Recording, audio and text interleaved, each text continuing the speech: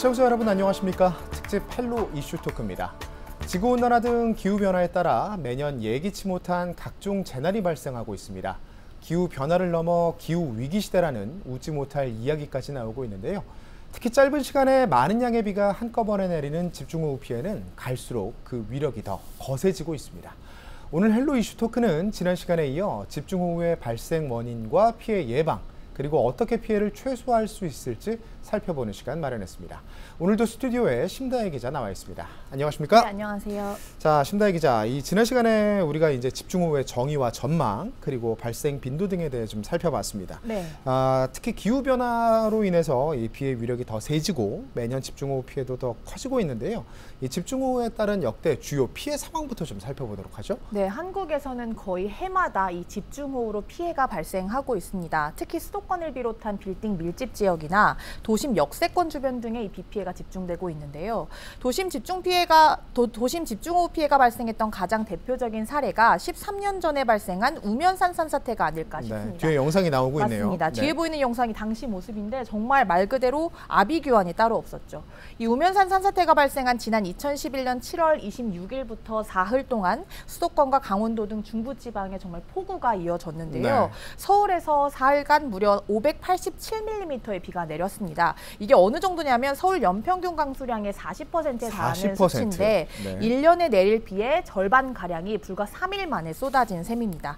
당시 강원도 춘천도 262mm라는 기록적인 강수량을 기록한 바 있는데요. 이렇게 계속된 폭우로 지반이 약해진 상태에서 우면산의 흙과 돌, 나무 등이 빗물을 타고 빠르게 흘러내리면서 이 우면산 산사태가 발생하게 된 겁니다. 인근 지역 주민 16명이 숨지고 50명이 부상을 당하는 등 총 66명의 사상자가 나왔습니다. 네, 이 심다혜 기자가 이야기할 동안 우면산 산사태 그림이 계속해서 뒤에 영상으로 좀 나갔는데 네. 아, 아직도 기억에 좀 생생합니다. 자, 문제는 2011년 이 중부권 폭우 이후에 거의 매년 장마철이면 서울 등 수도권 도심 일대가 계속해서 물에 좀 잠기고 있는 것 같은데요. 어떻습니까? 그렇습니다. 요즘에 매년 비만 내리면 서울 특히 강남 지역에서 이런 침수 피해가 나오고 있습니다. 어, 마치 재난 영화 같은 모습, 아, 이 모습 있는데요. 기억하시죠? 2년 전입니다. 서울 강남을 중심으로 시간당 100mm 이상의 폭우가 아, 쏟아졌습니다. 사람이 막 떠내려갑니다. 맞습니다. 버스나 시장에 이렇게 물이 들어차고 또 침수 피해를 입은 승용차를 그대로 버리고 가는 이런 상황들이 반복이 됐는데요. 동작구 신대방동의 경우는요. 한시간 동안 무려 141mm의 폭우가 쏟아졌습니다.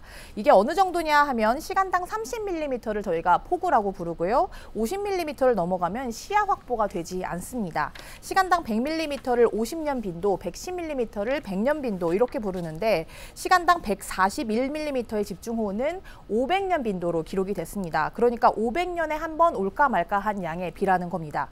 이런 재앙 수준의 물폭탄으로 단 하루 만에 5천 대 가까운 차량이 침수됐습니다. 자, 이 5천 대 가까운 네. 차량이 침수가 됐다. 정말 어마어마합니다. 자, 거의 2011년 이후에 매년 여름 비만 쏟아지면 서울, 강남 등 도심 일대가 물에 좀 잠기곤 하는데 맞습니다. 다른 지역도 집중호우 피해가 컸죠. 어, 그렇죠. 특히 비만 오면 뭐 지하차도가 잠기는 등 침수 피해가 이어지고 있는 것 같은데 어떻습니까? 네, 안타깝게 지하차도 침수도 반복적으로 발생하고 있습니다. 이제 4년 전인데요. 7월 23일 부산시에 내린 기록적인 폭우로 초량 제1 지하차도가 물에 잠기는 사고가 있었습니다. 이날 오후 8시부터 부산 지역에 호우경보가 발효됐지만 이 지하차도는 피해자가 발생할 때까지 이 통제가 되지 않았고요. 소방구조대가 현장에 도착한 게 오후 10시 40분쯤인데 이때 이미 출입구 높이 3.5m인 지하차도에 2.5m까지 물이 들어찬 상태였습니다. 결국 이 사고로 시민 3명이 숨졌고 차량 7대가 물에 잠겼습니다. 어, 좀 안타까운 건 구조적인 또 관리적인 문제가 좀 있었다는 점인데요. 당시 배수구는 바닥에서 50cm 높은 높이에 설치돼 있었고요. 지하차도 내부 상황을 알려주는 전광판도 고장이 난 상태였습니다. 이 지하차도를 관리하고 침수 상황을 살펴야 할 지하체, 어, 지자체 관계자들의 업무 태반이 어, 업무 태만이 이 도마 위에 오른 바 있습니다. 네, 참 안타까운 일이 아닐 수 없습니다. 무엇보다 중요한 것이 재발 방지 대책일 텐데 당시 이 부산 초량 지하차도 사고가 발생했던 게 2020년 7월입니다. 그렇습니다. 이후에 관련 공무원 한 명도 구속 기소가 됐고요. 또 부산 내 모든 지하차도에 진입 차단 시설 뭐 새롭게 설치하겠다 이런 발표 있었는데 그런데 지난 2023년이었습니다. 충북 청주에서 이보다 더 큰 사고가 발생했죠? 네, 모두들 사실 기억하실 겁니다. 지난해였습니다. 충북 청주시 오송읍에서 궁평 2 지하차도가 폭우로 침수되면서 차량 17대가 고려됐고, 어, 고립됐고 무려 14명이 숨졌습니다. 당시 사고 지역인 충북 청주에는 7월 13일부터 사흘간 500mm가 넘는 물폭탄이 쏟아졌는데요. 사고 발생일은 15일 오전 8시 30분경으로 이 극한 극한호우로 인근 미호강의 제방이 터지면서 이 하천수가 궁평 2 지하차도로 유입이 됐습니다. 이 미호강 범람으로 지자체 추산 6만 톤에 달하는 정말 어마어마한 양의 물이 단 2, 3분 만에 지하차도로 들이차게 된 겁니다. 네, 정말 뭐 끔찍한 일이 아닐 수가 없습니다. 자, 이 부산 초량 지하차도 침수 사고가 발생한 지 불과 3년 만에 이런 대형 인명 피해가 발생을 했는데 역시 인재라는 목소리가 컸던 것 같습니다. 어떻습니까? 네, 그렇습니다. 사고 직전에 이 미호천교 지점의 수위는 계획 홍수위가 9.2m인데 이거보다 높은 10.1m까지 차올랐고요. 아, 네. 사고 발생 4시간 전에는 이미 홍수 경보도 내려진 상태였습니다. 그러니까 이 하천이 흘러 넘쳐서 지하차도를 덮칠 수 있는 위험 징후가 이미 감지가 된 건데 이렇다한 조치가 없었습니다. 특히 당시 임시로 쌓아놓은 제방이 제 역할을 못한 것이 이 참사의 결정적인 네. 원인으로 좀 지목이 되고 있죠. 미호천 천교 확장 공사 과정에서 당국의 허가 없이 기존 제방을 허물고 이 임시로 부실하게 모래 제방을 쌓았는데 이걸 또 관리 감독을 제대로 하지 않은 점이 문제였던 겁니다. 최근에 법원 1심 판결이 나왔는데요. 이 참사를 부른 근본적인 원인으로 이 부실하게 쌓은 임시 모래 제방을 꼽았습니다. 판결문을 보면 임시 제방을 기존의 이 규격도로 세웠거나 아니면 사고 전날 보수를 했다면 이런 사고는 발생하지 않았을 것이다라고 네. 쓰여 있습니다. 또 궁평이 지하차도는요 행정안전부가 정한 위험 수위가 가장 낮은 등급인 3등급으로 평가돼서 또 논란이 된 바 있는데요. 행안부가 이제 아까 말씀드린 지난 2020년 부산 초량 지하차도 침수 이후에 좀 이제 침수 우려가 있는 지하차도에 자동 차단 시설 도입을 추진하겠다라고 했습니다. 그런데 충청북도가 이 궁평이 지하차도를 3등급으로 분류를 하면서 이 사업의 우선순위에서 밀려나게 된 겁니다. 결국에 이 찬사는 임대였다라는 비판을 좀 피하기 어려워 보입니다. 자, 그렇군요. 계속해서 좀 이 집중호우 피해와 관련된 인명 피해 사고들 살펴보고 있는데 뭐 거듭 말씀드리지만 초동 조치 통제나가 좀 더 빨랐더라면 충분히 막을 수 있었던 사고였던 것 그렇습니다. 같습니다. 네. 자, 이 청주시 우송읍 궁평이 지하차도 침수 사고가 발생했던 지난 23년 7월은 집중호우로 인해 모두 47명이 사망하고 1,300여 명의 이재민이 발생하기도 했습니다. 자, 심다희 기자, 이 기후 변화에 따른 극단적인 기상 현상이 더 빈번해지고 있는데 이런 피해가 우리 주변에 가장 취약한 이웃들부터 먼저 찾아온다고요? 그렇죠. 2년 전 8월입니다. 앞서 말씀드린 극한호우, 강남역 일대가 침수됐던 그 극한호우로 서울시 관악구 신림동의 반지하 주택에서 거주하고 있던 일가족 3명이 사망한 사건 좀 기억하실 네. 텐데요. 당시 반지하에서 40대 여성 A씨, 여동생인 40대 여성 B씨, 이 B씨의 10대 딸이 사망한 채 발견이 됐습니다. 네. 인근 주민들에 따르면 이 사망자 A 씨에게 발달 장애가 있었다라는 소식이 알려지면서 좀 주위에 안타까움을 샀는데요. 폭우가 쏟아지다 이들 가족은 지인에게 침수 신고를 요청했고 경찰과 소방이 긴급으로 주택 배수 작업을 실시했지만 결국 싸늘한 주검으로 발견됐습니다. 이 영화 기생청에서 봤던 물난리가 이 실제 현실에서도 발생한 건데 어, 이 때문에 대책 마련을 요구하는 목소리가 쏟아졌습니다. 당시 윤석열 대통령이 피해 현장을 찾는 등 반지하 주택에 대한 개선 대책이 좀 논의가 된 바는 있습니다만 아직까지 이렇다 할 진전을 보이지 못하고 있습니다. 결국 지금도 우리 사회와 가장 가까운 지역사회 그리고 취약계층은 이 기후 변화를 온몸으로 맞고 있는 실정입니다. 네, 뭐 정말 안타까운 일이 아닐 수가 없습니다.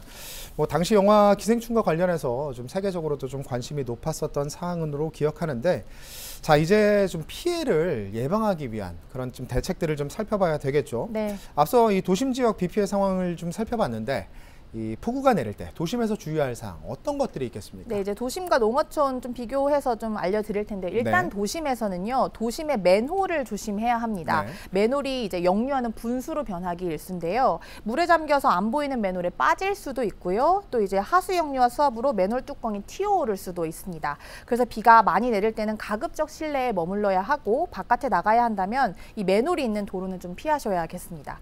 또 인도와 횡단보도에서는 감전 위험이 있는 전기 시설 물을 피해야 하는데요. 사람의 신체가 젖으면 평소보다 20배 가량 이 전기가 잘 통한다고 합니다. 아, 어. 주위에 네, 가로등이라든지 신호등, 변압기 이런 것들이 있다면 다른 길로 좀 돌아가야 하고요. 만약에 폭우로 우리 집이 침수될 우려가 있다라고 할 경우에는 물이 실내에 들어차기 전에 이 누전 차단기도 내려주셔야 되고 가스밸브도 잠가야 합니다. 또 폭우로 범람할 수 있는 하천 주변은 당연히 아예 접근하지 않는 게 좋고요. 저희 앞서 계속 말씀드렸지만 지하 주택이라든지 지하 주차장 뭐 이런 곳들은 지하 공간은 물이 정말 순식간에 차오를 수 있습니다. 이 때문에 만약에 지하 주차장에 차를 했다 그러면은 일단 몸부터 빠져나오시는 게 좋겠습니다. 네, 그렇군요. 뭐 무엇보다 생명이 가장 중요한 그렇죠. 것 같습니다.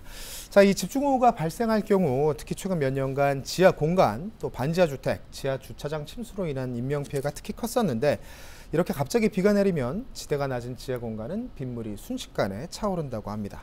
자, 이 지하 공간에서 갑자기 빗물이 차오를 때 좀 어떻게 대피하면 되는지 이세진 기자가 영상을 좀 준비했는데요. 주요 안전 수칙 정리했습니다. 영상 함께 보고 오시죠. 지난 2022년 여름 수도권에 쏟아진 폭우로 수많은 반지 하방이 빗물에 잠겼습니다. 아니 차다 보니까 물이 찼어요. 그래갖고 이제 막 퍼, 퍼내고 그랬어요. 빗물은 순식간에 어른 무릎 높이까지 차올랐습니다. 이게 다 되지. 여기까지 물이 여기까지 자고. 지금 물이 빠져서 그렇지 예, 물. 완전히 잠겨서 여기도 그- 여기 어린애들이 있었는데 어린애들 있잖아요 예, 은행에 다 이정을 다 대피 다 지고. 큰일 날 뻔했다 네. 참변도 있었습니다. 서울에서는 반지하 주택에 살던 일가족 3명이 침수된 방에서 빠져나오지 못하고 숨졌습니다. 반지하 주택은 건물 구조상 대피가 어렵습니다. 물의 압력 때문에 현관문이 열리지 않으면 창문으로 대피해야 하지만 방범창에 막혀 쉽지 않습니다. 때문에 무엇보다 빠르게 대피하는 게 중요합니다. 하수구가 역류하거나 빗물이 유입되면 가장 먼저 전기 전원을 차단하고 빗물이 종아리 위로 차오르기 전에 탈출해야 합니다. 슬리퍼나 하이힐, 장화를 신었다면 계단에서는 맨발로 탈출하는 게 더 안전합니다. 물이 빠져나가기 어려워 침수되기 쉽고 또한 출입구도 좁아요. 그래서 대피에도 용이하지 않습니다. 지하 공간에 물건을 높은 곳에 옮기시고 이제 집중 호우가 왔다. 이러면은 어, 지하 공간을 즉시 대피하시고 지하 주차장도 마찬가지입니다. 지하 주차장 경사로를 따라 빗물이 들어오면 차량은 수압 때문에 지상으로 올라가는 게 어렵습니다.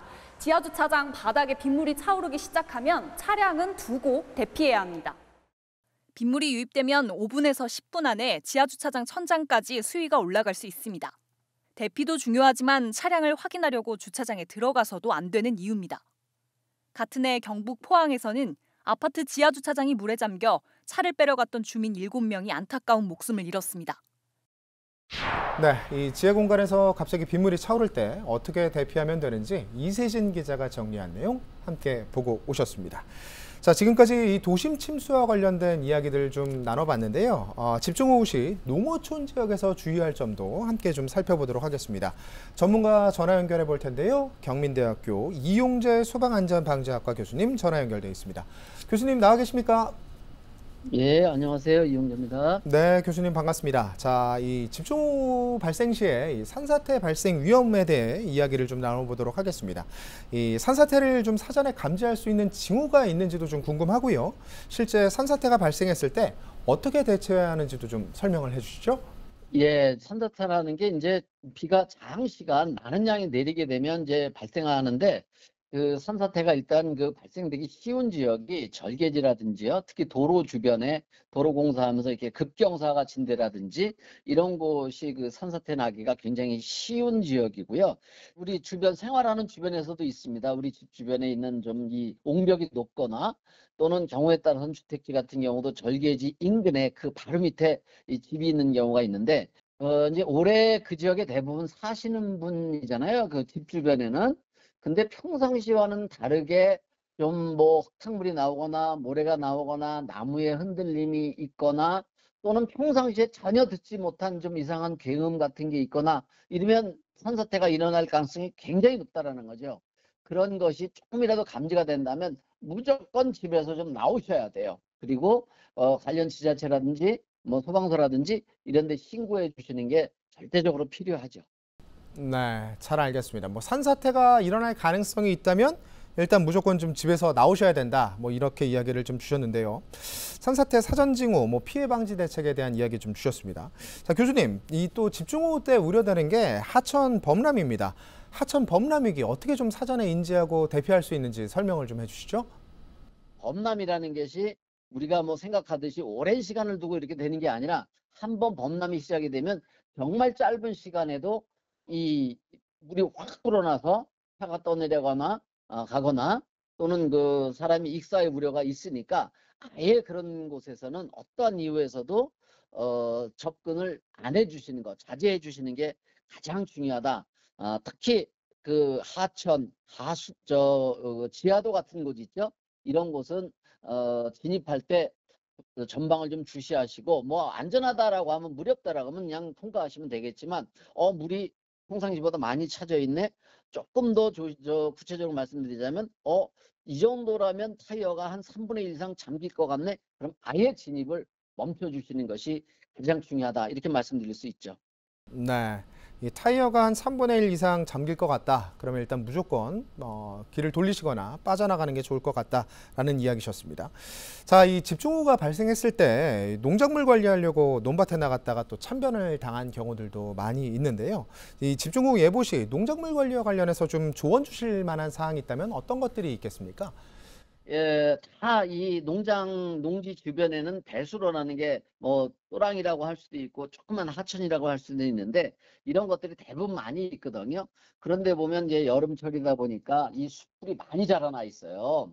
어, 그런 것들이 물의 흐름을 막거나 느리게 하거나 이래서 침수를 유발하는데 그 중요한 아주 안 좋은 역할을 할 수가 있기 때문에 이것은 사전에 어, 뭐 예를 들어서 많은 비가 어, 예고되고 있다라는 게 예측이 나오고 일기예보가 나오면 뭐 비가 많이 왔을 때 하기는 어렵거든요. 미리 며칠 전에라도 그런 부분에 어떤 그 자풀이죠. 이런 것을 좀 제거해서 혹시 많은 비가 내리다 하더라도 물이 좀 빠른 속도로 빠져나가면 침수를 상당 부분 예방할 수 있고요. 또 하나는 이제 비가 오게 되면 조용히 비가 올 수도 있겠지만 대부분 이제 이 장마철에는 많은 비와 거기에 또 동반돼서 바람도 또 세게 부는 경우가 종종 있습니다. 그래서 미리미리 이 하우스 같은 것도 좀 점검해 보시고 어, 단단히 좀 잡아매시고 이런 조치들이 사전에 어, 폭우가 내리기 전에 미리미리 좀 조치해 주시는 게 꼭 필요하다 이렇게 말씀드릴 수 있습니다. 네, 잘 알겠습니다. 무엇보다 철저한 준비가 필요할 것 같습니다. 지금까지 이용재 교수와 함께 집중호우시 농어촌 지역에서 주의할 사항 짚어봤습니다. 교수님 고맙습니다. 자, 이 방재 전문가와 함께 농어촌에서 산사태 발생 시나 하천 범람 시의 유의사항 살펴보고 왔는데요. 계속해서 심다혜 기자와 이야기 나눠보도록 하겠습니다. 자, 심 기자, 오늘 집중호우 발생 시 유의사항에 대해서 좀 살펴보고 있는데 사전 대비가 무엇보다 좀 중요할 것 같습니다. 네. 이 시민 여러분들께서 집중호우 발생 시에 좀 어떻게 대비하면 좋을지 설명을 좀 해주시죠. 네, 우선 우리 집 주변이 침수 위험이 있는지를 좀 봐야 될 텐데요. 홍수 위험 지도를 통해 확인해 볼 수 있습니다. 네, 홍수 위험 지도. 네, 비가 많이 오는 상황에서 어느 정도의 침수 가능성이 있는지 표시한 건데요. 그래프 보시면 이게 서울 강남구 일대의 모습입니다. 네. 색깔별로 어느 지역이 얼마나 침수 가 되는지 알 수 있는데 색깔이 진할수록 더 많은 침수 가능성이 있는 곳입니다. 조금 더 확대해 볼까요? 이제 강남역 일대입니다. 네. 침수 피해가 많았던 아, 곳이죠. 진하네요. 맞습니다. 옅은 네. 노란색에서 연두색, 하늘색 그리고 보라색 순서로 이 침수 취약도가 높다라고 보시면 되겠습니다.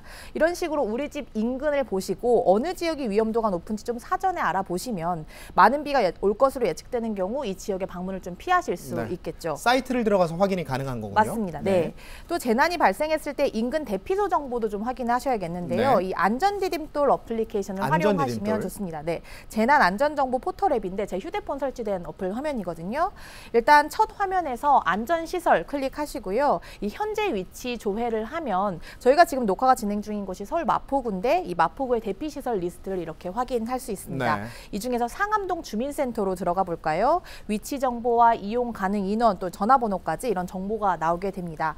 이런 식으로 아까 말씀 드린 홍수 위험지도 홈페이지, 또 안전 디딤돌 어플리케이션을 통해서 평소에 좀 틈틈이 살펴보시고 실제 위기 상황에서 좀 효율적으로 활용하시면 좋겠습니다. 뭐 우리 주변의 침수 지도나 안전 정보들 미리 사전에 좀 확인하셔서 어, 집중호우 피해에 대해 사전에 좀 대비하시는 게 좀 좋을 것 같습니다. 네. 자, 저희가 지난 시간에도 좀 살펴봤지만 워낙 한 번에 내리는 빗물의 양이 많아지고 있다 보니까 이 대심도 빗물 터널 등 이 지자체 차원 또 정부 차원의 이 수해 방지 대책이 좀 필요할 것 같습니다.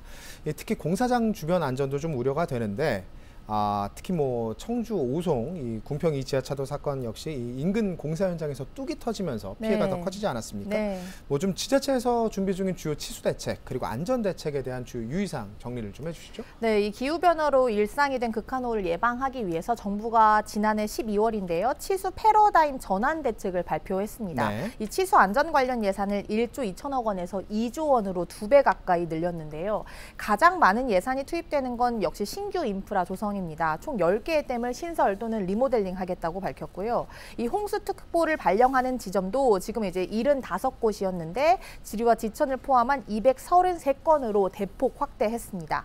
어, 이런 정부에 발맞춰서 각 지자체도 각종 취수 대책을 내놨습니다. 참사가 발생했던 곳들 위주로 좀 살펴보니까 일단 오송 지하차도 참사가 발생한 충북도는요. 도내 지하차도 30곳에 자동 차단 시설을 설치하고 지하차도별로 4인 담당제를 운영하겠다라고 발표 를 했고요. 네. 서울시의 경우는 상습 침수 지역인데 강남과 서초구에 이제 이동식 대형 소방 펌프를 추가 보강해서 이제 배수를 좀 빠르게 지원하겠다 이런 계획을 내놨습니다. 부산시도 만약에 사고에 대비해서 전국 최초로 이 지하차도에서 비상 대피할 수 있는 비상 대피로를 설치 중입니다. 어, 올해 여름에도 한국에는 작년과 비슷하거나 아니면 더 많은 집중호우가 이어질 전망인데요. 이 대책들이 실제로 효과가 있으려면 물론 지자체도 철저한 관리 감독을 해야겠지만 개인도 이제 사전 대비에 만전을 기하고 좀 행동 요령을 사전에 좀 숙지하시는 게 좋겠습니다. 네, 잘 알겠습니다. 자, 오늘 심다혜 기자 수고하셨습니다. 자, 이 오늘 헬로 이슈 토크는 집중호우 피해를 최소화하기 위한 주요 방안에 대해 이야기 나눠봤는데요. 무엇보다 아, 집중호우 시기를 앞두고 철저한 대비가 필요할 것 같습니다. 오늘 준비한 소식은 여기까지입니다. 시청해주신 여러분 고맙습니다.